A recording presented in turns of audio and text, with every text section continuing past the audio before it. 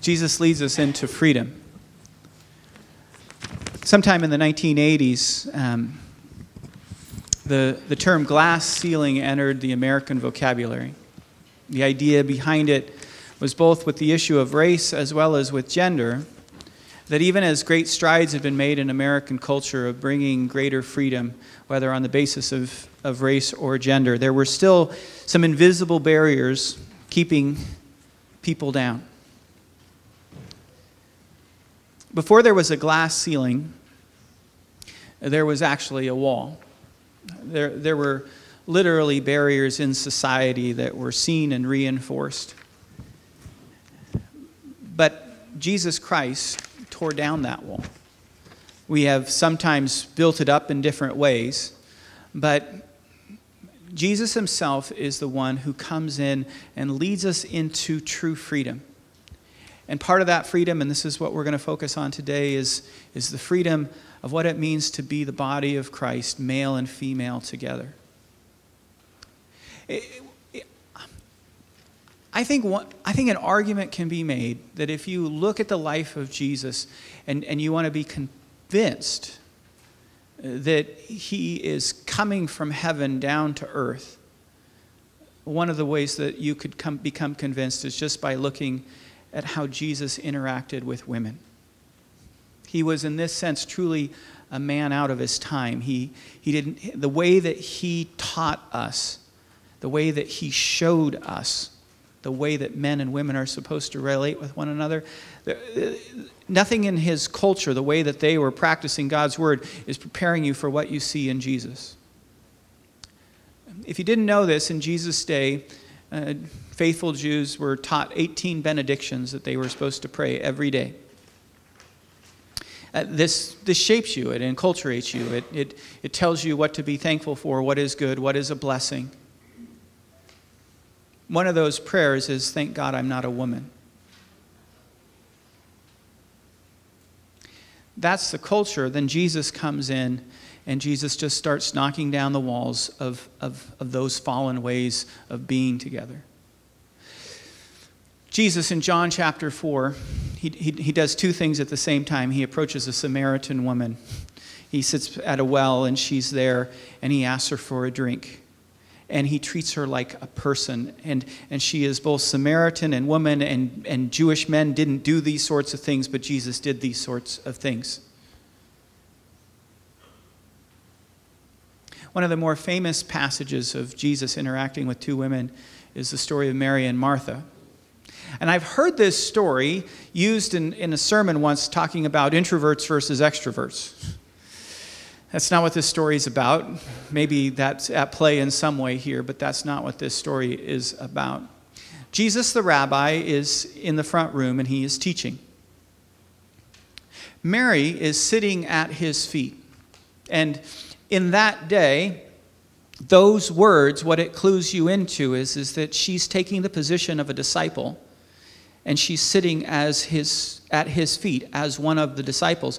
Martha is in the back room and she's preparing for the meal and she's doing the traditional role that women are supposed to be doing and she's getting frustrated that Mary's out there and she's back there and who is she taking this position?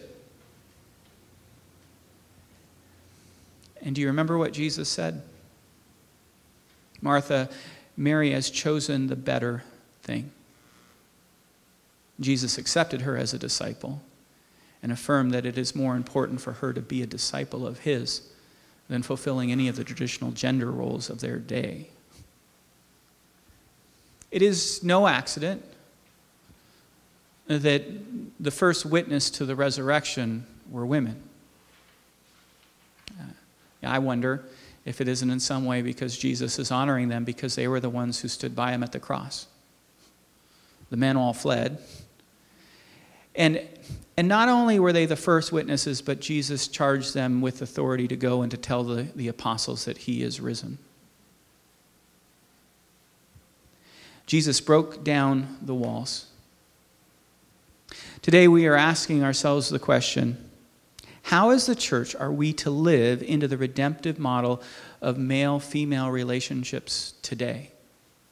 Uh, Jesus is showing us the way, but in our society and in our church, there is still more work to be done. How is he calling us to live into this?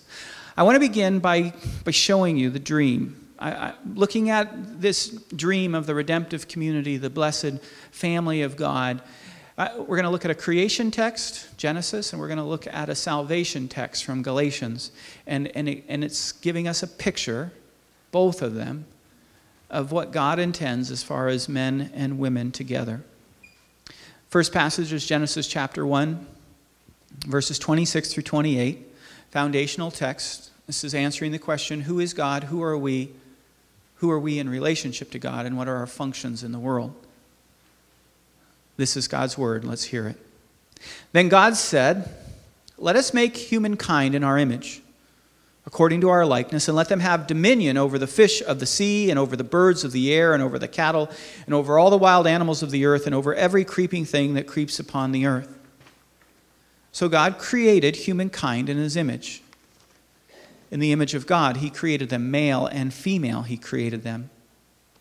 God blessed them, and God said to them, Be fruitful and multiply, and fill the earth and subdue it, and have dominion over the fish of the sea, and over the birds of the air, and over every living thing that moves upon the earth.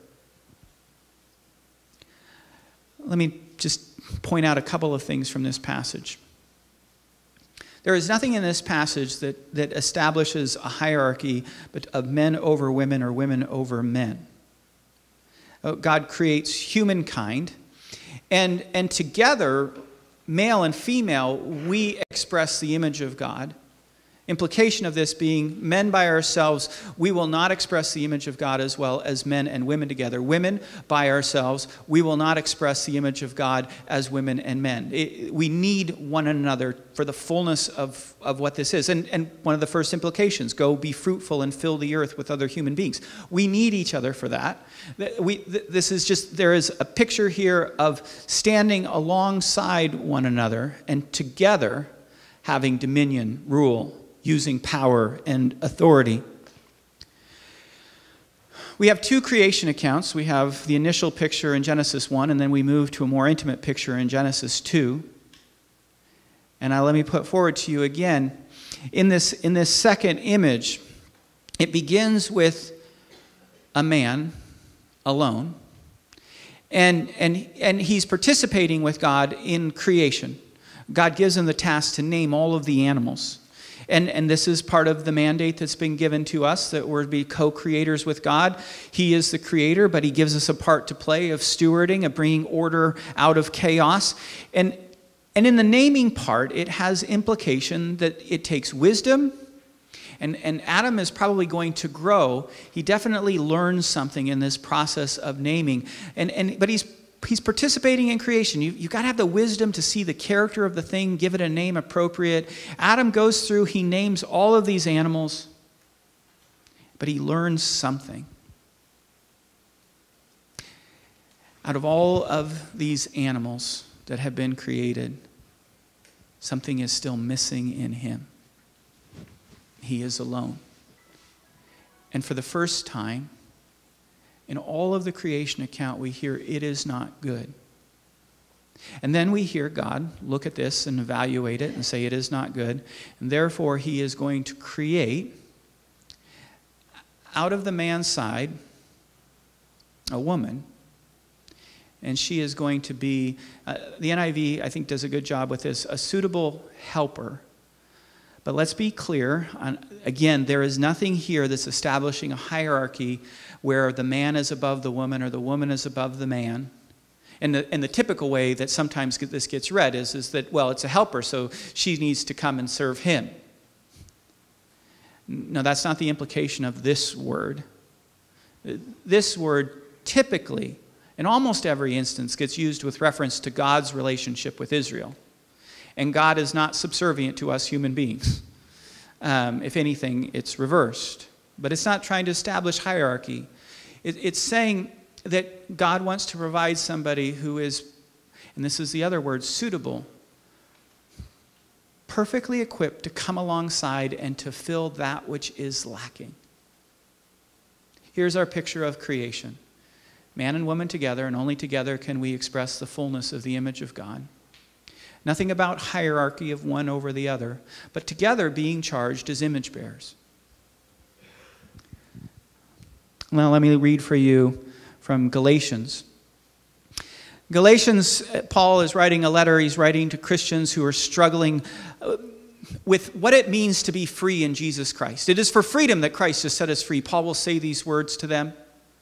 Uh, okay, so let's, let's figure out how to use this freedom. And, and one part is, is that they're, they're tempted back to go into old ways and, and, and, and old guardians that it doesn't bring us into the fullness of Christ.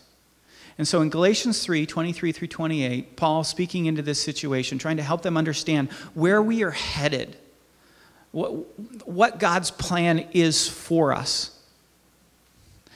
Before the coming of this faith, we were held in custody under the law, locked up until the faith that was to come would be revealed.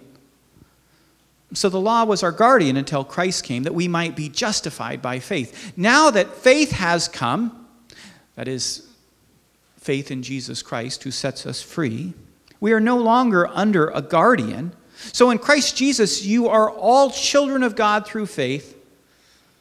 For all of you who are baptized into Christ have closed yourselves with Christ. You have a new status. You're part of the family of God. And in this family, the old order of things, which is marked by the fall, the old divisions of things, hear these words There is neither Jew nor Gentile, slave nor free, there, nor is there male and female, for you are all one in Christ Jesus. Whether because of race or because of class or because of gender, the old hierarchies of things that divided us up and stratified us and gave us different positions of status, all of that's being done away with, and we're living into a new reality of us standing together as one family, brothers and sisters, whatever race that we may be, whatever class that we may be. This is where we're headed. This is our freedom. At Westside, we are seeking to live into that redemptive model. And, and I, I, put this in your notes, and I, and I spent some time just carefully actually writing these words, and they're in your notes, and I want you to hear them eh, because it's telling you we believe we're headed in this direction, and this is what we're trying to do. Here's how we are going to function together authority Authority is demonstrated in submission to Christ. Eh, You and I, we are called to submit to one another and as Christ is our Lord, and, and to call one another to put Jesus first in our life. Uh, authority is going to be demonstrated in our submitting to Christ and saying, It's not really what I want and it's not really what you want. It's about what Jesus wants. Let's follow him. Power. Power is supposed to be harnessed in serving love. Uh, power is not going to be used to suppress. Power is not going to be used in coercion. We've been shown a different way of power. Our power that we've been given is supposed to be used in serving love to one another. Position is determined by the gifts and call of the Holy Spirit. There is no position in the church, whether pastor, elder, deacon, or any other ministry area that is limited by the issue of gender. It's going to be on the basis of gifting, and it's going to be on the basis of call. And we believe that God can call both men and women into any of those areas of service and leadership. Not all churches do it this way uh, probably most Bible believing churches actually don't do it this way. We do it this way because we believe it's the best reading of the Bible. Now, we affirm men and women uniquely represent the image of God. Men and women are different. Thank the Lord. I, I, I like the differences. Now, I was talking to somebody this week, And, and one of the things that comes here that I feel like when, when we talk about the fact that we are different, each of us uniquely repre- represents the image of God. Uh, there's, you know, this is where we, the fullness of the image gets, gets shown through our relationships together. But I had somebody talking to me this week and, and goes, Yeah, but it feels like a little bit because, well, we're taught to say God is our Father, that God is really more male than female. No. No, no that's not what we believe. I know it, it, can, it can come across that way, but each of us expresses the image of God. When we understand God, He is spirit, He doesn't have a body, He is neither male nor female. We get revealed the divine name of God as Father, and it's to show us that He is our parent. He has the fullness of all of the qualities of motherhood and fatherhood in perfection. But let's not confuse things by thinking about God with gender. So we have a name, it's Father, makes us think about a man, but God is not a man. Don't confuse that one. We affirm that the differences between men and women are of more of degree than kind. And what I mean by this is that there may be something where we sit there and we, and we think about some godly characteristics, and some of those godly characteristics may, may be something where we more naturally associate it with men. And, and, and what I wanted to do here is I wanted to, to use very positive characteristics. At first, I was going to say assertiveness, and then I went, oh, that could be a little bit negative. So I'm just going to use the word strength. And I'm not saying that women aren't strong. You're going to hear me clarify that point. But I, I go, when you think about strength, you probably, men, strong, okay, got it. There may be godly characteristics that appear more feminine, like I would put forward empathy.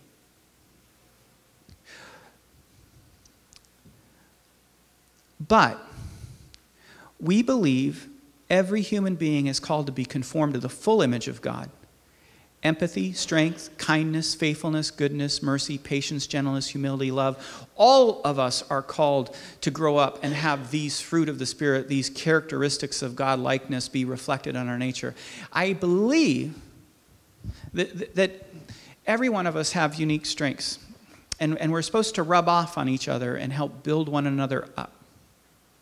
And, and you know, and, and one of my natural strengths, according to Strength Finders at least, is self assurance. Now, I will tell you as a Christian, it sounds a little bit like pride, and it, you know, and as a pastor, it's not one that I really like to boast about too much. I am pretty confident. I don't really doubt, but I can bring something to a team of people where it's like, we're going to get this thing done. We don't have to. Oh, hey, we got it. Let's go. Let's do it.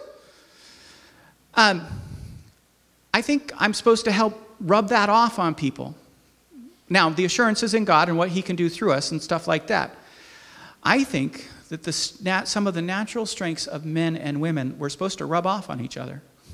I shared this in the earlier service and they laughed about it, so I think I'm safe to do it in this service. But one of my favorite examples here is, is Steve Shalata. Steve Shalata said, You know, when I got married, my emotional spectrum was like the Red Robin three pack of colors it was very, very limited to about three different emotions. My wife, on the other hand, she had like the 96 pack of Crayola crayons with the little sharpener. And, and, and she asked me this question What do you feel like doing? What kind of question is that? I have no idea what I'm feeling like doing. What am I? Go- oh no, what's happening? And um, he says, over the years, his three pack has kind of expanded into a 12 pack. His wife has rubbed off on him. Still doesn't have the night, maybe the 24 pack, but probably the 12 pack. That's what he says. And, and, and I think these differences were intended. They're different in degree, not in kind. All of these godly characteristics were all called, but, but we're going to help each other grow up into this. As I said, there are churches who approach this much differently. They don't allow for women to be in roles of leadership, they have very strict gender roles, specific things that you need to do. I want to tell you three things about why we do what we do. I believe that the Bible is very pro women. And, and, and Old Testament, New Testament, whole thing. I think it shines out in the New Testament. It's there in the Old Testament. Part of the challenge for us is cultural. We, we, we aren't from that culture. We don't see, especially in the Old Testament, God coming and being gracious to a broken society meeting them where they are and slowly drawing them towards the biblical ideal. He establishes it in the creation account, uh, but so much in the Bible is being put forward of lifting up, elevating women, protecting them from the ways that men have dominated and abused. I believe the Bible is pro women. I believe the Bible is pro men. I believe that it wants to liberate us into being who God has intended us to be. And, and one of the ways that it is pro men is by helping call us to our best selves in Christ and, and, and to be transformed where our approaches of power, where we tend to dominate and we tend to abuse women, are undone. It's, it's something that is still present in our society, right? Me Too movement, toxic masculinity. There are things where the way that men treat women, there's transformation that is needed. Let me give you an example of, of the way, one of the ways of being pro men, where it's trying to call us to our best selves, and it's from Matthew chapter 5. Men, don't look at women lustfully. If you do, you're committing adultery in your heart.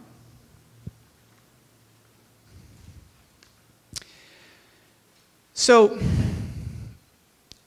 pornography use in America is something like more than 50% of men on a weekly basis are, are, are using pornography. Statistics would tell you that the difference between what's happening inside the church and what's happening outside the church doesn't seem to be any different. What does, what does training yourself to look at a woman lustfully do to you? It trains you to look at somebody who's been created in the image of God, who, who is supposed to be a sister in Christ you reduce them down to an object of self gratification and you, and, you turn, and, and, and you just objectify. You don't treat them as people. Jesus is calling us and saying, Listen, it's going to be different among you. This isn't going to be the way for you. You're not going to live that way. You're not going to train yourself to look at women that way. I want you to see women as those who bear the image of God. And if it's your wife, to have, your, have all of your sexual passion and amorous love just dedicated to her in holiness. And if it's anybody else, then you see them as somebody who is special, unique, not somebody to be used, but somebody to be served. So I think it's pro women, I think it's pro men, and I think our approach, this approach where we are not where authority is going to be about mutual submission in Christ. Power is going to be harnessed in serving love, where positions are going to be based upon the gifting of the Holy Spirit. I believe this approach is the best reading of the Bible. And I'm going to invite up Wayne Pelly. And um, Wayne is involved in a ministry of really helping people process through and see the full counsel of God on this issue of male and female relationships. And I'll hand it over to you. Okay, thank you. Yeah, a little over a dozen years ago, I was involved in a church whose policy regarding men and women in ministry really revolved around what are typically called the restrictive verses. You probably know the ones 1 Corinthians 14, women are to keep silent in the church. And 1 Timothy chapter 2, where Paul says, I do not permit a woman to teach or have authority over a man. And those two verses were at the center and uh, dictated the policy. And the ways in which that policy was being implemented and enforced made me increasingly uncomfortable because of my background. I had been a pastor before, I had been in, I was a graduate of seminary, but still I realized I did not have the wherewithal, the background, the tools biblically and historically to articulate another point of view, a better point of view, I thought. And so I began a process that actually lasted several years um, of researching this issue in Scripture. And I started with something one of my former New Testament professors had published back around the time I was in seminary, which was back in the 70s. Um, what he did was he didn't start with any particular scripture, like the restrictive passages, he took his Bible and he read through it from beginning to end. And every time he encountered a passage that addressed gender in general or women in particular, he wrote that on a 4x6 note card. And his background was, a, uh, was as a specialist on New Testament culture, so he took those tools of historical investigation and cultural investigation and researched to understand each of these passages in their original context. Then he started sorting them, looking for patterns. And what he found was a lot of these passages simply described women doing ministry and leadership type of activities in ways that were countercultural, without any explanation, without any defense, with, as though these were accepted and normal in the life of the early church. So he put those in one stack. And he looked at that and he saw this was, this was more than half of the cards. So what's with that, especially with so much attention spent to these, in, so many churches, to the, just those two verses? And so, he, so the next question was okay, what would have encouraged women to do that? And encouraged men to accept and welcome those activities by women. So he went through the texts again and found quite a few that were encouraging to women. Now, when we think of, the, of the, that first category, he called that descriptive. Ralph has already mentioned some of those. For example, Mary Magdalene is commissioned by Jesus to be a witness to the apostles. Um, another Mary is sitting at the feet of Jesus in Jesus' traveling seminary. And in a culture of very rigid gender roles, she crosses that line and Jesus defends her. Paul in Romans 16 mentions Junia as an apostle. He mentions Phoebe as a deacon, who, in fact, is, in the way he describes her, is clearly the one who carried Paul's epistle to the Romans from where Paul was to Rome. And in that role, she would have been expected by the church at Rome to be the interpreter, the explainer of what Paul had said. So the second category he called instructive. These texts are instructing the church the way in which the Lord, Jesus, and the apostle paul want things to be done. So you have examples like acts 2.38 for example that ralph had mentioned just a bit ago. You have all the passages dealing with spiritual gifts. There's no indication there that there's any gender restriction in how the holy spirit distributes those gifts. You have um, just a, a wide variety of passages that express that value. So now you have all of these texts categorized into three categories you have descriptive, you have the instructive, and you have the restrictive. So now you have to ask a historical question what's the relationship between these three in the life of the early church, and especially going from the Gospels to the early church? Well, at this point, it becomes, you know, and how do each of those explain the other? So at this point, what is clear is that the term restrictive is the wrong term for those two verses in 1 Corinthians 14 and 1 Timothy 2. A much better term is corrective. So you have descriptive, the most common, instructive, verses that encourage women and encourage men to welcome and accept. And you have two verses left that restrict women, and these are corrective. And you can see evidence for that in each of those passages. For example, in 1 Corinthians 14, Women are the third group asked to be silent. In a, in a passage that is about disruptions going on in the worship service. In 1 Timothy chapter 2, the word used for authority is unique. It is not the normal word used for authority, and it has implications of domineering. So clearly, what Paul is saying women are not to do is not something I've ever seen a woman in leadership at this church do. So clearly, that's correcting a situation. And then there's a a lot of other clues as well. And, um, and we, we put a, a slide up. Oh, yeah.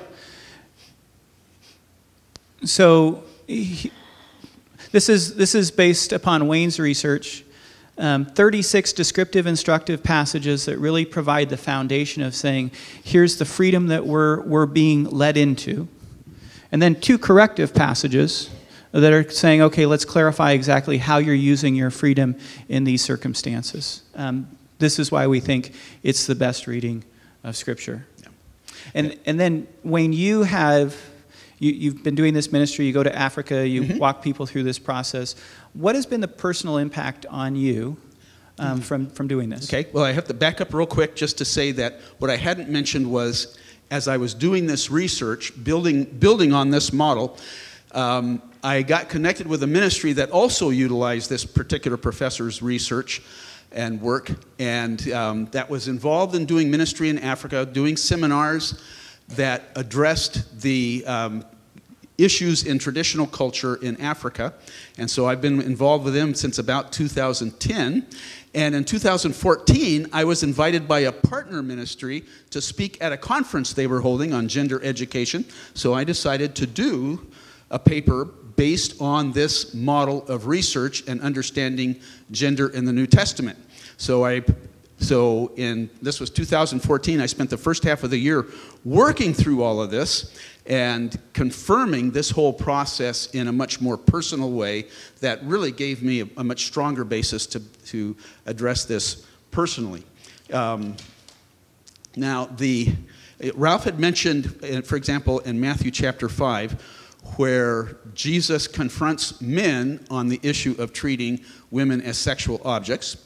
And in that same chapter, he addresses men on the issue of they're, they're opting out of the cycle of vengeance and retaliation that is so characteristic of relationships between men in honor shame cultures. I mean, you see that all through the Gospels because the disciples are constantly arguing over who's the greatest. You see other issues with respect to uh, men measuring their, their sense of self worth through material wealth and a variety of other things. So, like we talk about toxic masculinity today, Jesus was way ahead of that, of us on that, because this is exactly what he's dealing with. And what this alone, this diagram doesn't show, is that that is really the key in traditional cultures, both in, in Jesus' day and in our day, and really in our culture as well, is men need to grapple with what it means to be a man. Because Jesus is basically, when, when you take all these texts and put them together, Jesus is redefining what it means to be a man.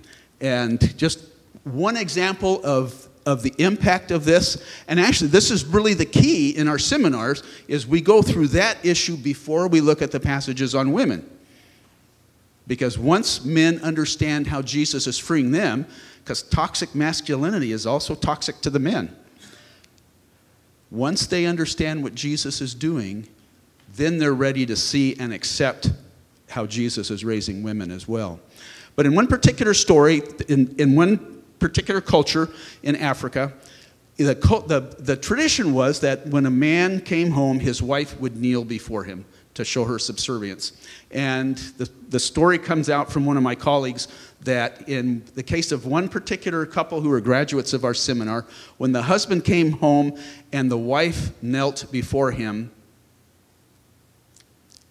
he knelt down and looked her face to face and he says, You know what? I cannot love you if I am up there and you are down here. Thank you, Wayne.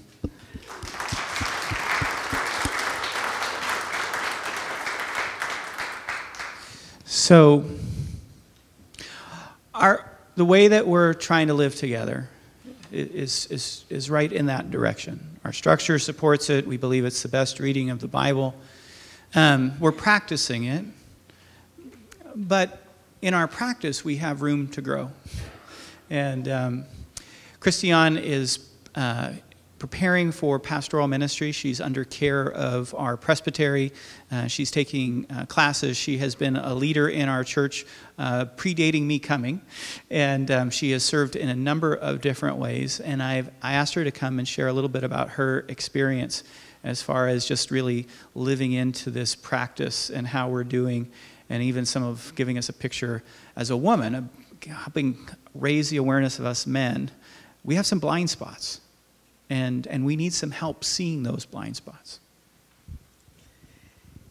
So, in some ways, I'm not quite the right person to talk about experiencing pain or barriers to leadership within the church. There are as many perspectives as there are women in this is just my experience. So I grew up in a highly educated family on the progressive West Coast. I am the oldest child of multiple generations of oldest or only children. My birth order, family structure, and heritage all give me a confident sense that I am right. It's practically encoded in my DNA. I am not really sure how self assurance didn't make my top five on that Strength Finder test. I didn't become a Christian until I was in high school. I grew in faith through multiple Christian communities, which all affirmed women as equal, receiving God's gifts for ministry and service. I honestly thought that was the dominant Christian understanding. Many women in this church can speak much more to experiencing pain of being told otherwise while growing up. In my master's class at Whitworth, many women broke down in tears describing how damaging and painful it's been to them to hear while growing up that their sense of identity, their sense of call, their God given strengths were all wrong. I experience Westside, our presbytery, and our eco denomination nationally as genuinely trying to live into the biblical reality of equality. There are both women and men speakers and examples of leadership at all the conferences. At Westside, we usually have an equal number of women and men serving as elders and deacons. Currently, we even have a fellowship elder who is a man and a property elder who is a woman. We pay attention to that call, not to gender. In the past, we had a woman as our worship leader. So, why do I continue to find myself as either the only or one of two women in leadership outside of session? Why are there still so many more men pastors than women pastors, even within a denomination that affirms the biblical understanding that women are gifted and called by God for leadership? Sorry. I think the answers are quite complex, but to a great degree, they are cultural. Remember that due to my unique combination of heritage, family structure, and growing up within a progressive subculture, my inner form, DNA encoded identity is I'm right. So when I have to wade into a male dominated space and feel like my points aren't heard, I'm not wounded in my inner person. I might be annoyed or think, really? Why don't you see it? Based on their experiences growing up, many women feel inner discrediting and wounding at not being heard. Others are so exasperated, they just don't want to put up with it. Who wants to show up for that? I fortunately just know that the guys are missing it. Because I trust both the intent and the heart of the guys I work with who don't get it, I know that any discrediting I might feel is not intended. If I say those guys are just being guys, every woman in this room knows just what I mean. But I bet the guys are a little mystified. What is it? I'm honestly still very much in the process of trying to identify it more concretely. On the surface, it can look like a group walking in single file to a destination, starting and ending meetings with the topic and zero depth of discussion on how one another is doing personally, not seeing the importance of including times to connect as people not just on topics embedded in the, into larger gatherings. Not following through on affirmed and accepted ideas or items I submitted to the agenda. Not noticing when others in the group are not coming, contributing, and, and then following up. Why, that, why might that be?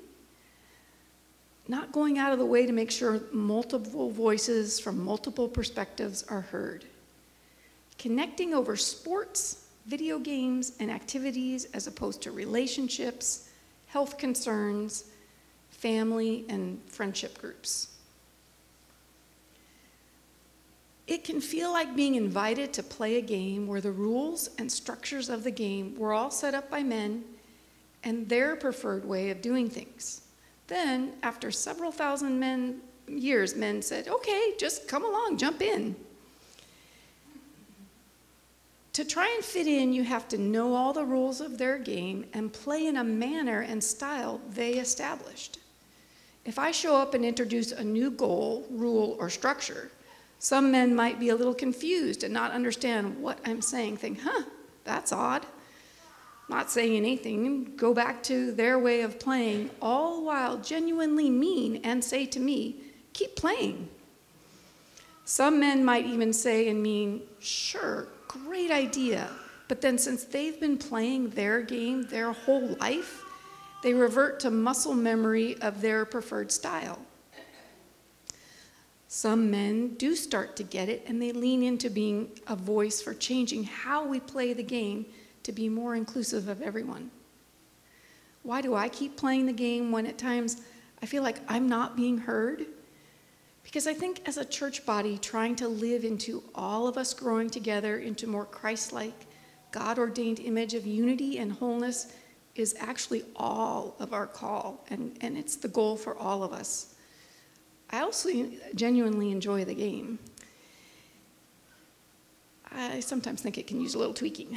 Okay, we as a body are missing out if we don't seek out to include the voices of the many women who do not feel safe, invited, or included.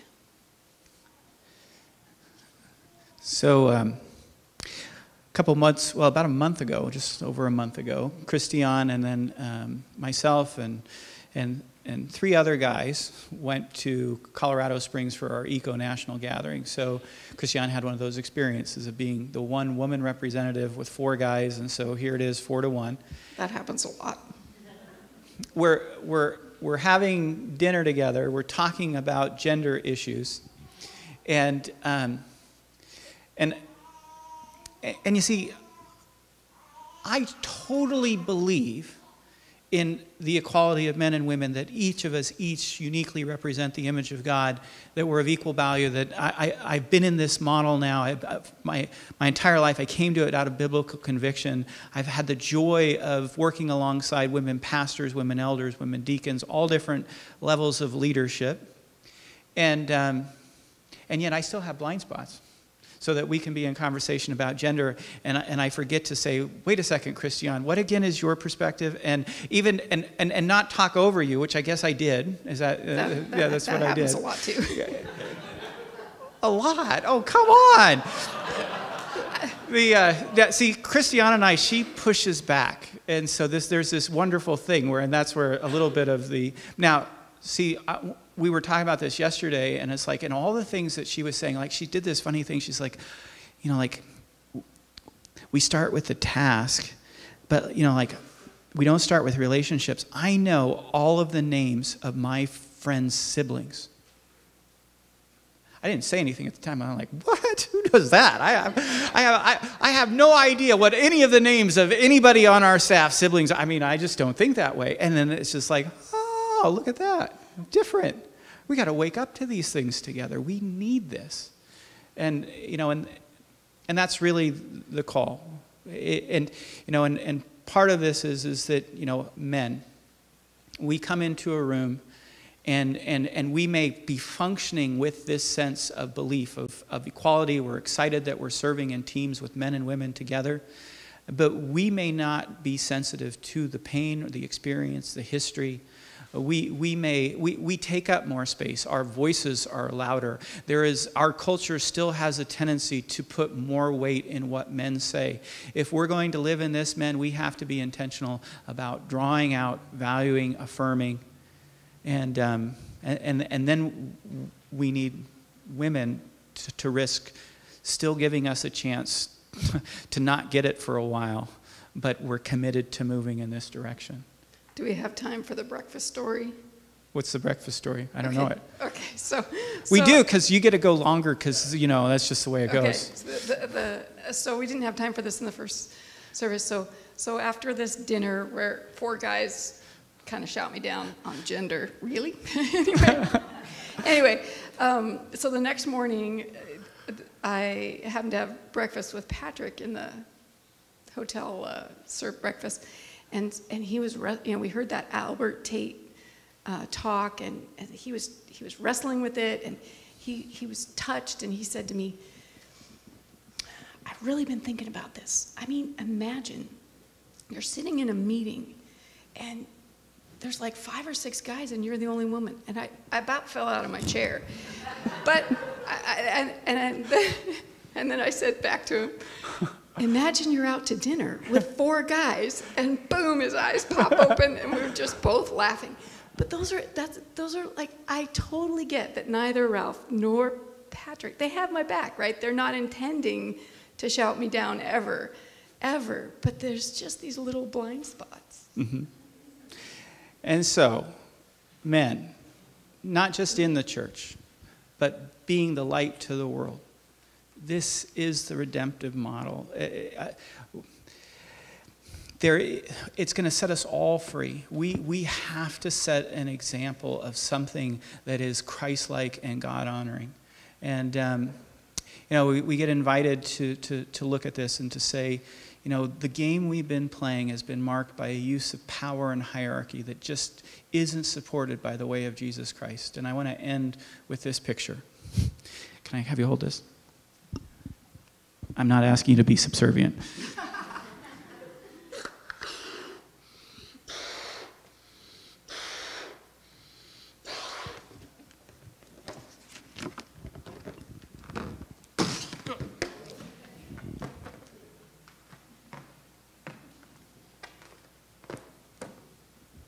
Thanks. I did that one handed last time and it was really hard. Um, so, what game are we playing when it comes to power and authority in the church? What game are we supposed to be playing? A number of years ago, there was a group of special needs children, and they were brought into a room, and it was going to be a play game, and, and they set up the game of balloon stomp. And um, I think not too long ago, our youth were playing balloon stomp downstairs, and everybody thought that guns were being fired or something, or at least that was a concern. And the idea of the game is, is that there's going to be a hierarchy, and there's going to be the person who wins, and everybody else loses, and it's who can stomp the most balloons. And, and, and they bring the kids in and they explain the game to them. And, and all of these kids who are special needs, they're, they're struggling and, and none of them are stomping any balloons. They're trying to, and the balloons are flying all around. And then the people watching the game see something amazing. The kids didn't understand the rule, they just thought they were supposed to stomp all the balloons. They start getting down on their knees one at a time, and they hold the balloon for somebody else to stomp. Everybody won.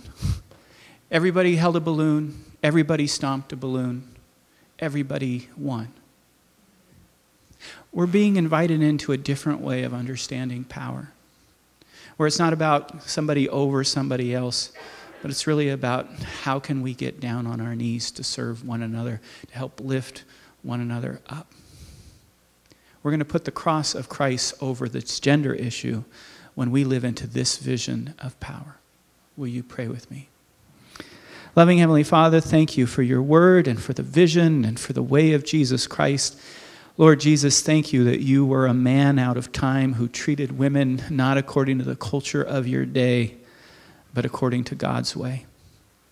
Empower all of us to live into this dream of men and women, women and men, all of us together living into this community where we shine forth your glory together.